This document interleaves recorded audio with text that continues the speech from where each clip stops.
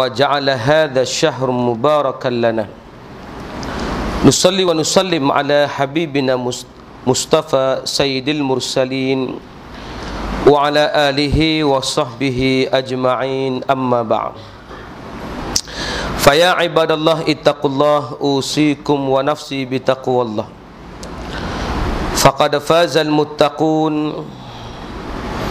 رب اشرح لي صدري ويسر لي أمري. واحلل عقدة من لساني يفقه قولي.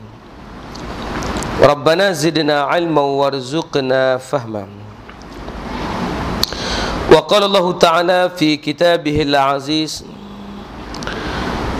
أعوذ بالله من الشيطان الرجيم. إن الله اصطفى آدم ونوحا وآل إبراهيم وآل عمران وآل عمران على العالمين. Zuriyatan ba'duha min ba'd. Wallahu samiun alim. Sadaqallahu alazim tamanya marilah kita memanjatkan syukur pada Allah Subhanahu wa taala. Alhamdulillah pada malam ni Allah bagi kesempatan untuk kita bertemu. Dan saya malam ni rock sikit tuan-tuan. Sebab tak ada nak balik rumah lagi. Daripada pagi tadi sampailah uh, ke malam ni. Inilah pakaian yang saya pakai. Jadi kalau tuan-tuan kata, "Po ustaz tu." Orang pakai jubah tu, pakai seluar. Seluar tu seluar jin tu. Ha, jadi minta maaf tuan-tuan. Orang tak sempat balik hari ni. Kalau saya balik jadi macam tahun lepas. Pukul 10.30 baru sampai tuan-tuan. Jadi Alhamdulillah pada malam ni kita ambil masa yang singkat ini walaupun lepas ni tuan-tuan masih banyak rencana nak dibuat. Inilah di antara surah yang pelik di Selangor ni tuan-tuan orang buat 8 dia pun buat 20. Ha, tapi tak apalah sebab surah-surah yang buat 20 ni hanya untuk orang-orang yang imannya kuat saja tuan-tuan. Jadi nampak muka jernih tuan-tuan. Ha, boleh kahwin dua dah tu insya-Allah.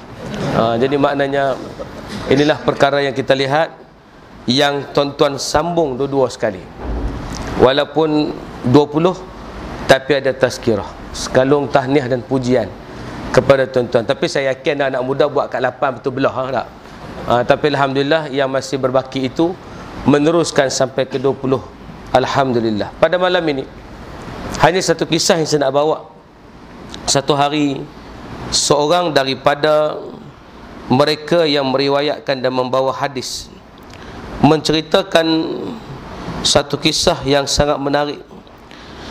Iaitu seorang yang bernama Otti bin Damurah As-Sa'di kata Otti satu hari aku melihat satu orang syekh sedang duduk di satu tempat di Madinah sambil berbicara. Otti pun kata siapakah laki-laki itu yang sedang duk bercerita dan sibuk memberikan syarahan? Maka orang pun kata hang tak kenal? Itulah Ubay bin Ka'ab sahabat daripada sahabat Rasulullah sallallahu alaihi wasallam. Siapa Ubay bin Ka'ab tuan-tuan? Pembaca al-Quran. Yang Nabi suruh dia baca kepada Nabi sallallahu alaihi wasallam. Satu hari Nabi kata iqra minal Quran. Bacalah Quran untuk aku. Maka kata Ubay a'indakal Quran ya Rasulullah kaifa qara'tu pada kamu dah ada Quran wahai Rasulullah macam mana aku nak baca pula? Takkan aku nak baca pada orang yang sudah maklum dan tahu pasal Quran? Nabi kata inni uhibbu an asma'a min ghairi. Aku sangat suka nak dengar Quran daripada orang lain. Baca.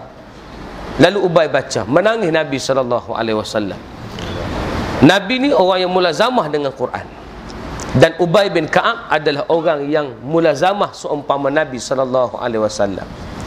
Satu hari dia cerita, dia kata ketika Nabi Adam alaihi salam menghadapi sakratul maut di ambang-ambang dia nak mati itu tiba-tiba dia berkata pada anak-anaknya inni uridu an akla min fawakih syajarah min fawakih jannah wahai anak-anakku pak nak mati ni tapi bapak teringin nak makan buah dalam syurga boleh pergi cari tak Bapak teringin nak makan buah dalam syurga. Hampa tolong pergi cari sat. Anak-anak ni tak sampai hati tuan-tuan. Lalu mereka pun pergilah mencari buah dalam syurga. Tuan-tuan nak cari mana syurga ni tuan-tuan. Dia kena mati baru boleh masuk syurga. Tapi kalau bunuh diri, tobat tak masuk syurga tuan-tuan. Masuk neraka. Tapi sebab kesian kepak ni. Sebab kempunan nak makan buah dalam syurga. Anak-anak tak bantah. Tak ada yang jadi macam Abdul Wahab dengan Abdul Wahib. Ha? Yang mempertikaikan apa dia apa nama? Siapa pak dah? Ismi ulang raja. Ha, sebut gitu baru baru faham sikit ada orang sini tuan-tuan. Ha? ha sebab kalau tanya tak tahu tu jadi terkhayal agak kok geng malaikat ke semua kan tuan-tuan. Jadi maknanya bila dia tanya dia tanya, sorry, bila dah begitu permintaan daripada Adam, anak-anak tak bertanya. Terus bawa cangkui, bawa apa dia sodok, bawa lah apa yang patut bawa, nak pergi cari tang mana ni syurga, dan macam mana nak dapat buah daripada syurga pasal itulah tuan-tuan bila pergi cari sudah tentu tak jumpa. Di tengah jalan bertemu dengan para malaikat. Zaman itu malaikat masih lagi boleh bercakap dengan manusia. Malaikat bertanya weh di mana? Dia tak sebut weh gitulah. Saya translate bagi kat tuan-tuan ni. Kan? Ha di mana? Kata dak ni pak kami di kempunan nak makan buah dalam syurga ni nak pergi cari tak tahu tak mana ni. Malaikat kata tu sedok merelak pergi balik pergi balik. Pasal aja pak hang dah nak sampai dah tu sedok cari buah dalam syurga pergi balik. Ni kami ni mai ni nak kebumikan dia ni. Sagi aja dia sampai sagi kami akan kebumikan dia. Masa tu malaikat bawa kain kafan. Malaikat bawa atar. Malaikat bawa benda untuk mengkebumikan Adam alaihissalam. Kenapa di zaman itu tak ada lagi orang tahu cara macam mana nak kebumikan jenazah. Maka pergilah malaikat sampai di rumah Adam, Hawa tiba-tiba melihat para malaikat mari ke rumah. Hawa kenal lah pasal dia pernah duduk dalam syurga. Dia kata, puak ni mai dah. Maka Hawa pun lari. Masuk ke dalam rumah. Bila Hawa lari tuan-tuan, dia lari bersembunyi di sebalik Adam alaihissalam. Bila sembunyi balik Adam dia kata bang malaikat mai dah bang oi malaikat mai dah. Maka bila Hawa bersembunyi balik Adam Adam pun tempih. Hmm. Ha duk pegang kau apa pasal hang dulu aku keluar dari syurga. Ha, Nabi Adam kata gitu. Sudah pegang sudah. Ha, kan. Ini pasal Adam sudah diambang sakratul maut. Sebab tu dia teringat balik punca dia keluar syurga. Lepas dia ni ini menyebabkan aku tersingkap. Aku ni tak mau makan buah tu dah. Dia duk pujuk. Nampak tuan-tuan? Macam kita salah bini kita. Aku tu habak dah tak mau pinilih. Hang ajak juga. Hang punya pasal. Terawih tak buat malam ni. Nampak tuan-tuan? Ini ha, contoh saja tidak ada kena-mengena dengan hidup dia yang mati tuan-tuan. Jadi bila dah tempih macam tu tuan-tuan. Adam menyebut perkataan tapi Hawa tak terasa pasal apa. Memang dia pun tahu. Dialah punca Adam alaihissalam terkeluar daripada syurga maka tibalah saat terakhir sampailah ajal Adam sudah sampai fa idza jaa ajaluhum la yasta'khiruna sa'ata wa la yastaqdimun dicabutlah akan ruh Adam alaihissalam selesai daripada Adam mati kerja malaikat. Malaikat memandikan Adam malaikat meletakkan atar kepada Adam malaikat mengkafankan Adam malaikat menyembahyangkan kepada jenazah Adam dan malaikat yang gali tanah untuk menyimpan jenazah Adam. Selesai daripada malaikat menyimpan jenazah Adam pada masa itulah malaikat kata hadza minas sunnah. Ini daripada sunnah. Kamu esok bila anak Adam mati inilah cara yang kamu kena buat. Dipesan kepada anak-anak Adam begitu. Muslimin muslimat dirahmati Allah. Apa pasal cerita ni?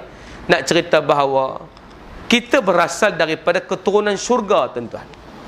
Kita tak berasal daripada keturunan neraka dah. Kita memang keturunan kita asal pada syurga kerana bapa kita dulu bila terus Allah jadikan dia Allah letak dekat syurga kal fakhar. Allah letak Adam ini kal fakhar. Khuliqal insanu kal fakhar. Allah jadikan manusia itu daripada macam seumpama tembikar. Tembikar maksud dia dalam dia ada rongga kosong di luarnya berisi macam tubuh manusia. Bila dipamerkan depan syurga tuan-tuan depan pintu syurga ada exhibition Semua malaikat kata, Ya Allah, benda apa ni cantiknya. Eh, tak pernah tengok ni. Hebatnya. Hanya iblis seorang yang main tengok datang apa ni. Hmm. Dia ketuk-ketuk tong-tong. Hmm, kosong pula dah. Tak ada apa pun. Apa dia peduk panggar sangat dengan datang ni pun tak tahu. Itu yang berlaku. Akhir sekali Allah masukkan nyawa ke dalam tubuh badan Adam. Tak ada apa-apa lagi. Baru nyawa sampai di sekak badan. Dah nak bangun dah. Nak tunjuk memang manusia daripada manusia adalah daripada makhluk yang nak bersegera. Betul tak? Nak bersegera. Nak buka, nak bersegera. Tadi saya bawa anak-anak pergi apa dia makan tuan-tuan. Nak bersegera. Habis cepatlah. Tak sabar dah ni. Nampak? Ha, tak ada habis doa lagi. Dah kurma masuk mulut dah. Allahumma lakas. Maka Allah masuk kurma dalam mulut. Nak tunjuk itu fitrah manusia. Ajal. Memang nak segera dan nak cepat. Makan nak cepat. Menikah nak cepat. Semua nak cepat. Semahyang nak lambat tuan-tuan. Ha, itu beza yang ada kepada manusia. Sebab tu apabila dalam keadaan demikian kita lihat Allah Dah bangun tu, akhir sekali Adam tengok kaki dia masih lagi tanah. Setelah sempurna, Allah suruh masuk ke dalam syurga. Allah jadikan Hawa daripadanya. Qul ya Adam uskun anta wa zawjukal jannah wa kula minha ragadan haitsu syi'tuma. Masuk dalam syurga. Mentak darah lah apa nak mentak darah dalam syurga ni? Satu ya wala taqraba hadhihi syajarah. Jangan hampir pokok ini. Faham kita apa dia? Manusia dalam banyak-banyak yang halal duk cari yang haram lagi betul tak tuan-tuan betul tak tuan-tuan tak betul ya kan dalam duk banyak-banyak yang halal cari lagi yang haram bini dah ada dah pegang tangan dengan bini dah. Tapi nak tengok lagi orang betul tak? Bukan saya tak betul. Bukan saya seorang eh? Ha, jadi makna nak beritahu pada kita bahawa memang manusia adalah jenis itu tuan-tuan. Tak percaya pergi pasal juadah. Nampak tuan-tuan? Pergi pasal juadah. Bini dua dah tuan-tuan. Tapi kalau tengok benda pelik, tengok lagi. Dia tengok, eh kau ni, dia ni niaga apam ke? Tunjuk apam. Nampak tuan-tuan? Maknanya pasti kita akan tengok tuan-tuan. Nak tunjuk memang manusia salah satu sifat dia yang fitrah. Fitrah tuan-tuan. Dia sangat condong kepada yang haram. Walaupun banyak yang halal tuan-tuan. Allah jadi yang halal ini 70%. Yang haram 30% ya. Ayak mentah darah layak apa tuan-tuan? Semuanya halal. Daripada tongkat ali, kacik Fatimah, tongkat Musa, minumlah apa tuan-tuan. Yang haram arak ya.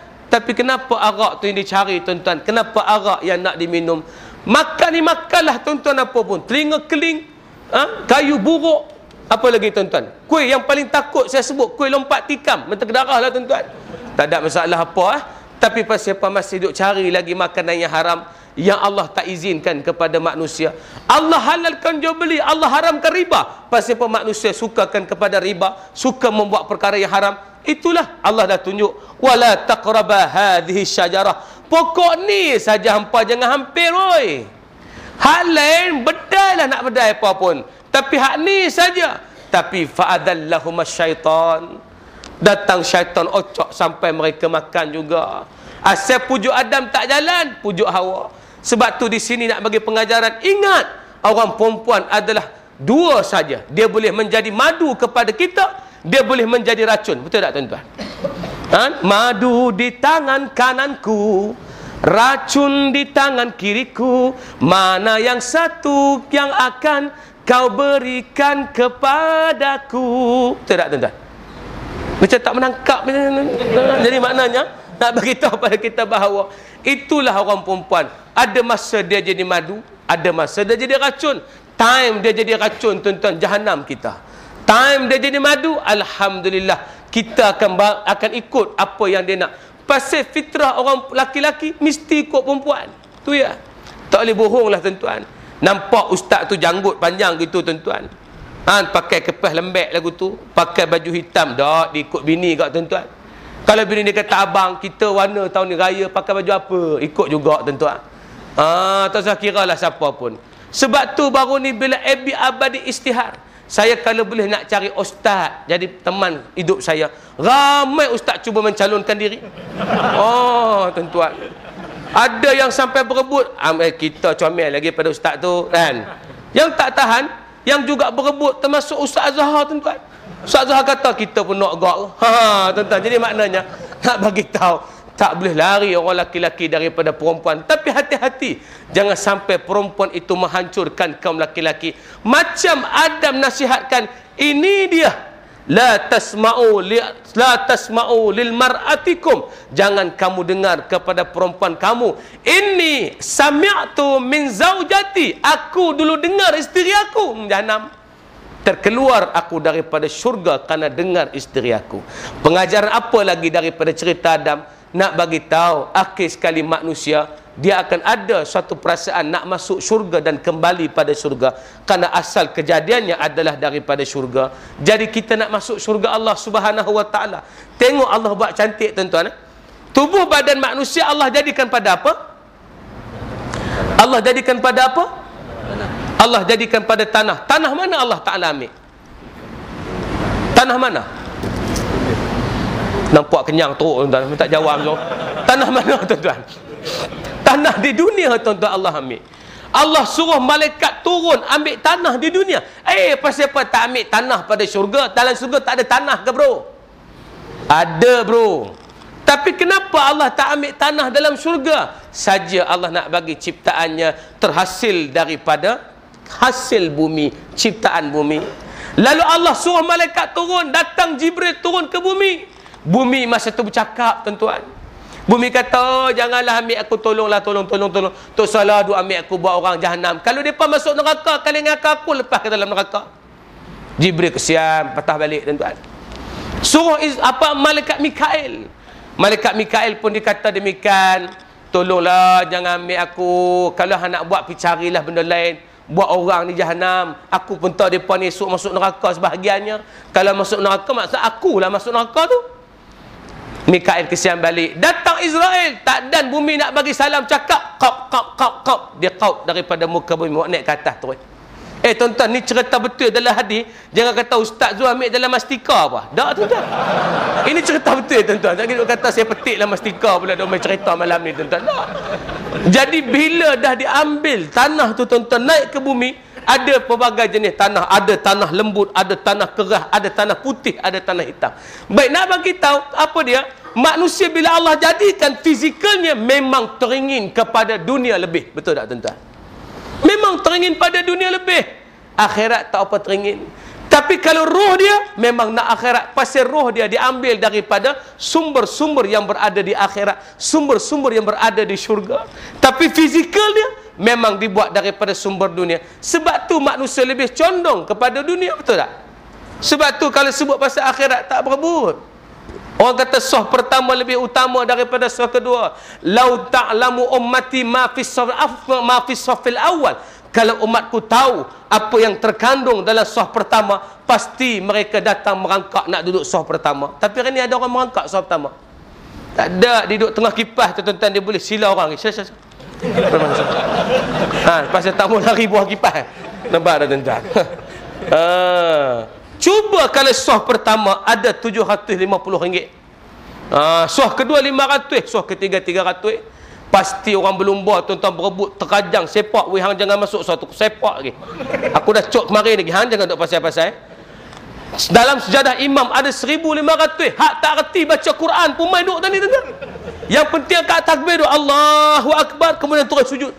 Pasal nak ambil 1500 tuan-tuan nampak? Sebab tu kita kata bahawa kalaulah agama itu ada ciri dunia, sudah tentu orang berebut. Tapi bila sebut agama tak ada ciri dunia. Sebab tu hari ni mana ada orang sibuk mengiklankan Ramadan? Ada tuan-tuan? Tak ada. Tuan-tuan pergilah mana-mana pun semua dah iklan raya dah. Pergi Jaya Jesko. Selamat menyambut Hari Raya Adil Fitri. Maaf zahir dan batin. Jangan lupa membeli belah di Jaya Jesko. Tuan-tuan. Ah, kan? Kan pelikat Cak Mangga mengucapkan selamat Hari Raya Adil Fitri. Tuan-tuan. Banyak-banyak syarikat bata mengucapkan selamat hari raya Adil Fitri. Pakailah kasut bata untuk keriangan hari raya anda. Tuan-tuan, apa yang ucap selamat Ramadan ni? Satu syarikat ya. Yusuf Tayo. Ha tuan-tuan. Hak tu pasal nak meniaga kurma tuan-tuan. Kalau cari hak lain, semua sibuk pasal Ramadan, pasal Syawal tuan-tuan, tidak sibuk pasal Ramadan. Sebab apa tuan-tuan? Orang tak nampak kelebihan yang terkandung daripada Ramadan melainkan yang diwar-warkan tentang dunia semata-mata tuan-tuan. Jadi sebab tu hasil daripada tadi kita faham manusia memang condong kepada dunia. Tapi jiwanya kalau bercakap tentang akhirat sebab tu dia kena pupuk jiwa ini untuk cintakan akhirat. Sebab tu tazkirah ini dibuat. Saya tahu pihak surau ambil kaedah untuk buat tazkirah. Sebab nak bagi faham supaya jangan terlepas pengisian-pengisian yang baik. Sebab kalau solat 20 rakaat tuan-tuan ada yang memang seronok dia dapat 20 rakaat. Siap menangis lagi sebab imam baca sedap. Oh menangis sebab imam baca sedap. Tapi yang kita pernah tengok dia menangis bukan pasal imam baca sebab sedap pasal imam lama sangat tuan-tuan. Buat lama malam. Tuan-tuan. Jadi sebab tu kita kata bahawa bukan semua orang senang nak balik pada agama. Caranya tazkirah. Sebab itulah orang dulu mendengar tazkirah ataupun orang Arab hari ini mendengar tazkirah dengan dua cara. Satu bacaan Al-Quran. Saya pernah sebut pada tuan-tuan atau tidak ketika ikhwan diharamkan di Mesir. Kenapa sebut ikhwan? Sebab hari ini ikhwan menang balik tuan-tuan. Presiden dia yang di, yang di Mesir tuan-tuan daripada FJP Freedom and Justice Party Dr. Muhammad Mursi Dr. Muhammad Mursi anggota ikhwan walaupun pengajian dia bukan agama dia hafiz Quran anaknya hafiz Quran isterinya hafizah tuan-tuan tapi orang terlupa macam mana ikhwan didik orang selama 80 tahun anggota dia tetap hebat macam Dr. Muhammad Mursi hari ini di parti di di, di parlimen parti FJP ada 180 orang ahli parlimen hafaz Quran 100 orang hafaz separuh Quran Seratus orang proporsional. Kita di Malaysia ada ahli parlimen hafaz Quran. Hapus ada tuan-tuan. Hafaz tak ada. Jadi kenapa hebat tuan-tuan? Sebab ikhwan ada sistem tarbiyah dia. Dulu mereka dengar tazkirah macam mana? Ketika ikhwan diharamkan, imam ikhwan muslimin akan jadi imam. Dalam solat itulah dia mengarahkan tindakan-tindakan yang harus dibuat. Menggunakan ayat-ayat Al-Quran. Ni hebat tuan-tuan. Guna ayat Quran tuan-tuan walladzina kafaru sawaun alaihim dia boleh faham tuan-tuan an tilka rusulu faddalna ba'dahum ala ba'din minhum man kallama Allah ada arahan dalam ayat tu kita mampu tak faham kalau keluar arahan gitu tuan-tuan ha. kalau baca surah pendek pun tak faham surah panjang lagi tak faham kalau orang tanya apa maksud wadduha wadduha wal laili idza saja maksud apa tak tahu rasa saya saja kot Oh, tak tahu maksud apa? Nampak? Nak bagi tahu pada kita sebab kelemahan tu terjadi pada orang Melayu. Jadi pada kita tu kita buat tazkirah agar wadzakir fa inna dzikra tanfa'ul mu'minin. Bagi peringatan supaya dia menjadi perhiasan pada hidup kita. Kalau tak ada peringatan dalam Ramadan ni tuan-tuan, percayalah siapa yang akan bagi peringatan pada tuan-tuan. Nah, saya akan bagi peringatan pada kita adalah lagu-lagu raya, betul tak? Masuk 15 hari bulannya ringtone pun dah tukar tuan-tuan. Ha, ringtone dah tukar dah. Kena pula hari tu ringtone bukan ringtone untuk apa dia call, ringtone untuk message. Ringtone message ni tuan-tuan tahu lah dia habis lagu tuan-tuan. Kalau orang tu tak tekan selagu habis. Hari tu masuk message tuan-tuan dia jadi makmum. Tengah-tengah imam kat takbir wadduha tiba-tiba dengar ringtone. Wah duhai bonda, duhai ayahanda. Dengarlah seruan anak anda yang jauh di mata. Tu imam daripada duha masuk surah Al-As melompat tuan-tuan. Kan? Pasal terganggu oleh ringtone tu tuan-tuan. Ni sebab tu jangan mereka main tuan-tuan. Sebab tu kita kata kena dengar tazkirah. Ni dak duk dengar berlalulah sudah Ramadan sebulan berpuas baru 15 hari dah habis dah tuan-tuan. Ni lagu dia tuan-tuan. Jadi kenapa tuan-tuan? Sebab tazkirah tidak menjadi pengisian. Saya nak bagi tahu. Kerana tazkirah dah ramai mereka dulu yang jadi ahli maksiat kembali pada pada agama. Tuan-tuan Irma Hasmi balik pada agama pasal tazkirah tuan-tuan. Kena Irma Hasmi. Balak dia dulu Nabil tuan-tuan. Balak dia dulu Nabil tuan-tuan. Saya duk kira bila dia putih dengan Nabi, sayalah orangnya.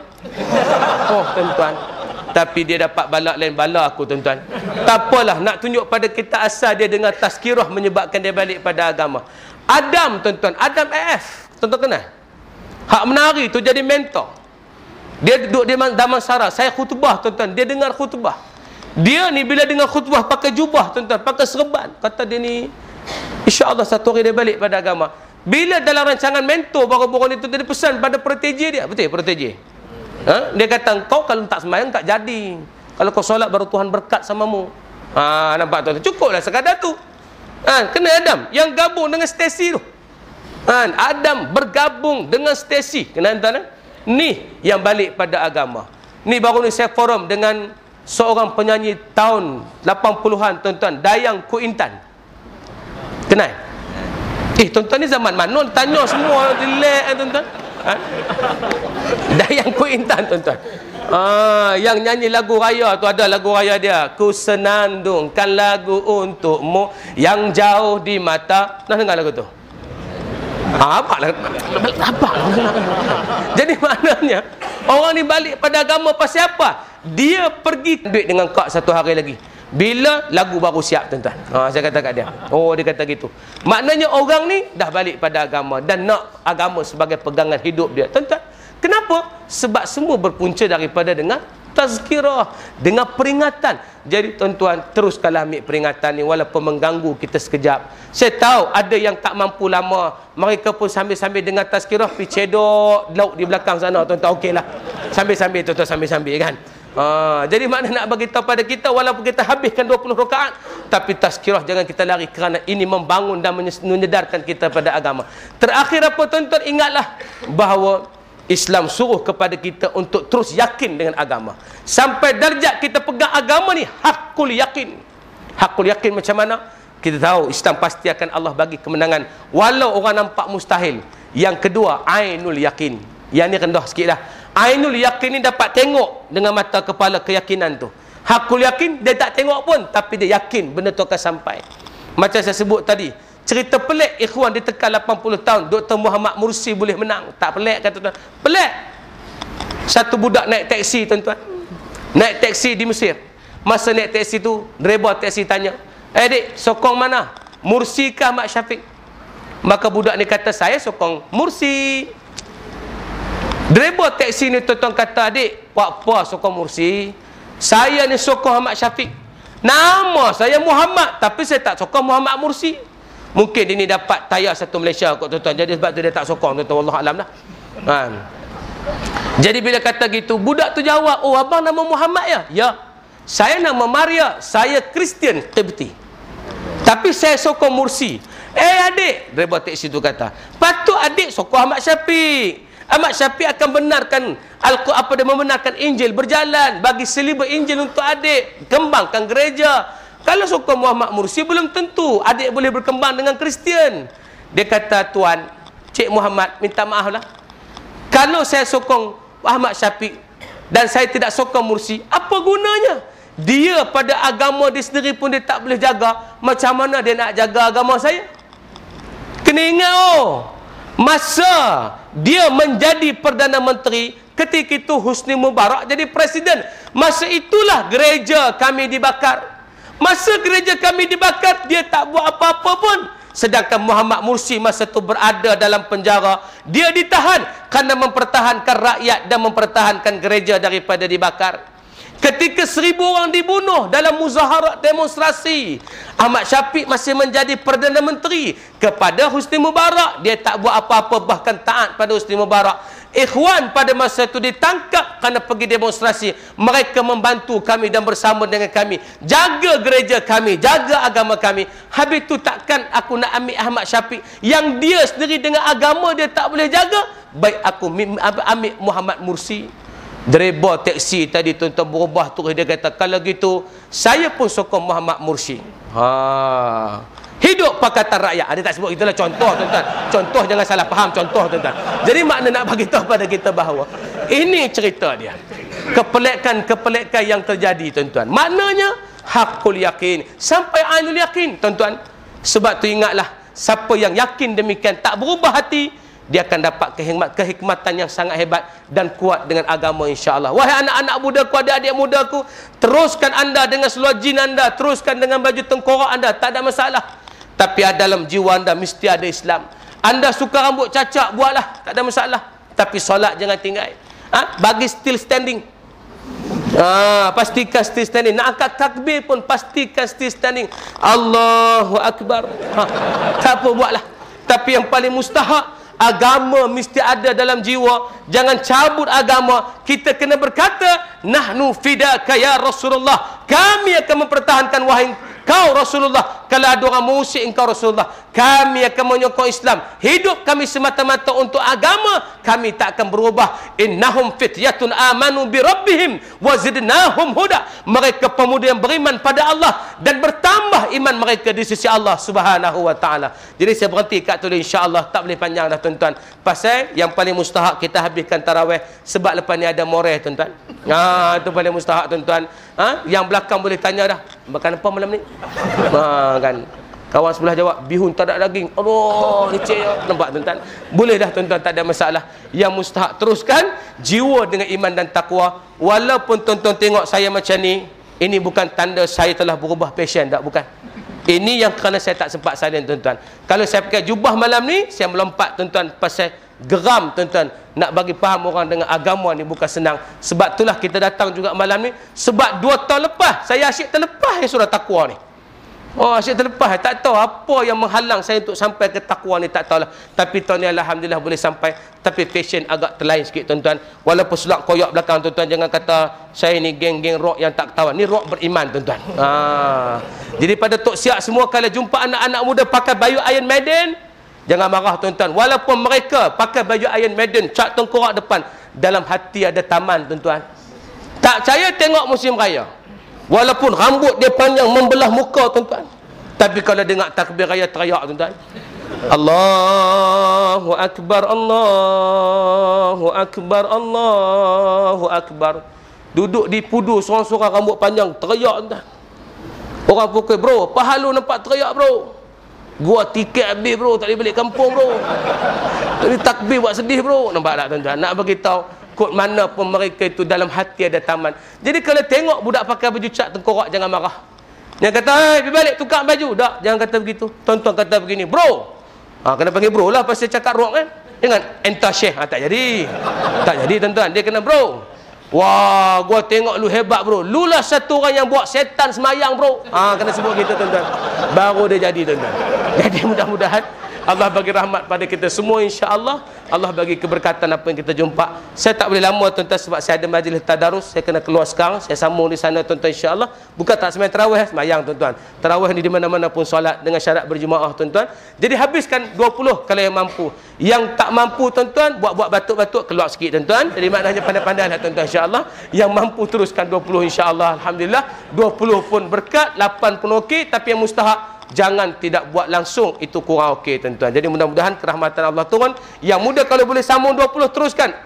Anda laki-laki yang hebat anda pemuda yang hebat. Yang tak mampu tak apa. Tapi jangan kita rasa bahawa yang kita buat itu dah sempurna. Kena cari amalan tambahan yang lain insyaallah. Mudah-mudahan Allah berkati kita semua. Innahu wasamil alim. Assalamualaikum warahmatullahi wabarakatuh. Bismillahirrahmanirrahim.